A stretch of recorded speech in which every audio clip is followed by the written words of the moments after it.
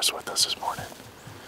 Coburn actually bailed way off into some good ground. Um, so hopefully they're getting on some this morning. But uh, we've heard a lot of bugles, and we're in the same spot. We heard a ton last night. Um, so hopefully we can work something up onto up onto where we are. But it's only been like maybe 15, 20 minutes. So they're talking this morning. It's super cold, 37 degrees. So I'm pretty excited.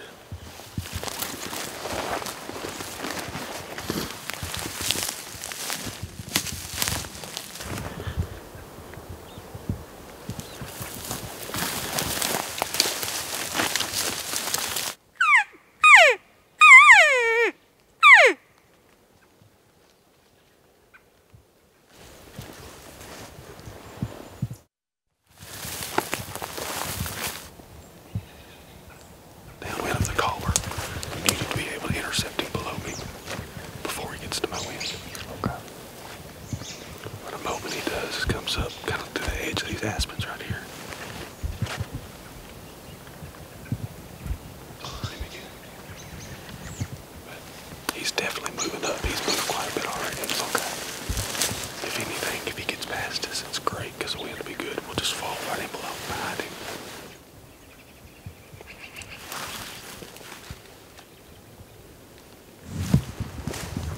So we have one responding within 200 yards of us right now.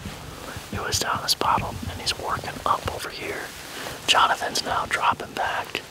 Um, that last bugle was crisp and clear. I mean, he might be, he's probably right at 200 right there. See what happens. This is the closest we've been.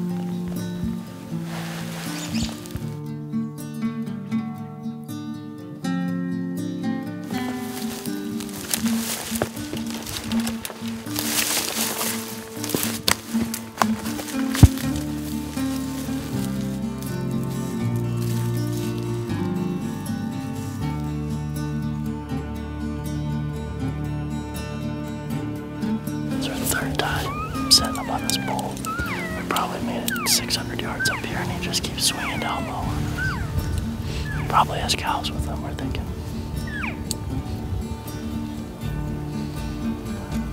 He's still right in that like two, 300 yard range right now. Hopefully we can just slip up here. Or we're also thinking, hopefully we stay close enough to where when the cow's bed, he'll come and investigate. All right. Well, it's um 10 o'clock exactly.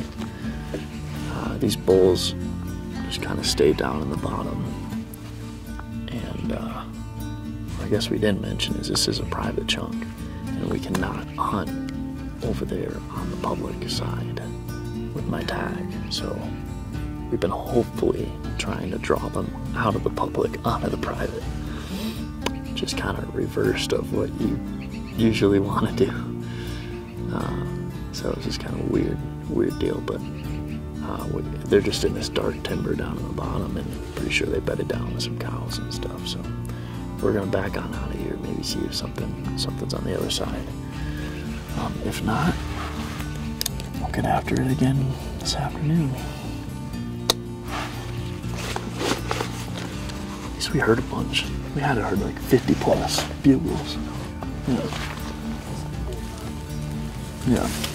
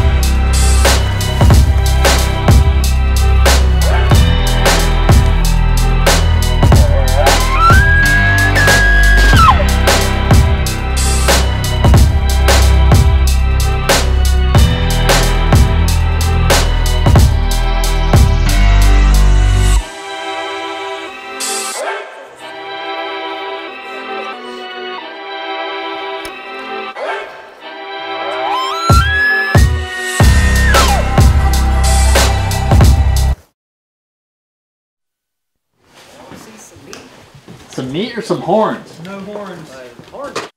So you y'all followed them way down there. Well, this is what happened. So we literally we get up top first thing in the morning and we're like, oh my stars. They are literally everywhere. There were 13 bulls bugling.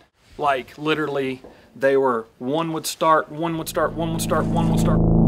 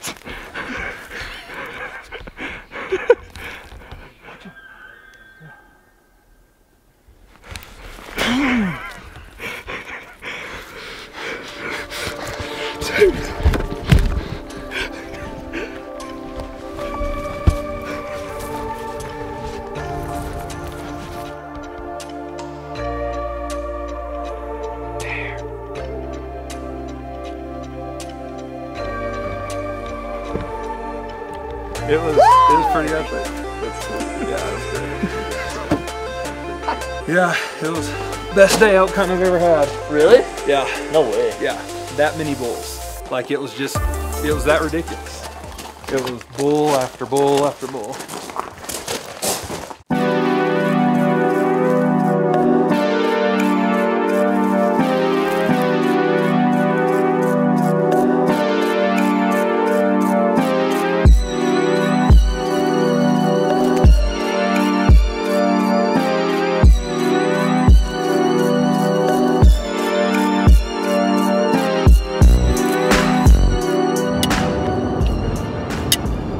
Okay, everyone, that is a wrap for Colorado. We're on the road. We've actually been on the road for a very long time. Uh, we're almost into Nebraska, which is our next stop. But um, Colorado was super awesome. I mean, super awesome to hang out with the guys.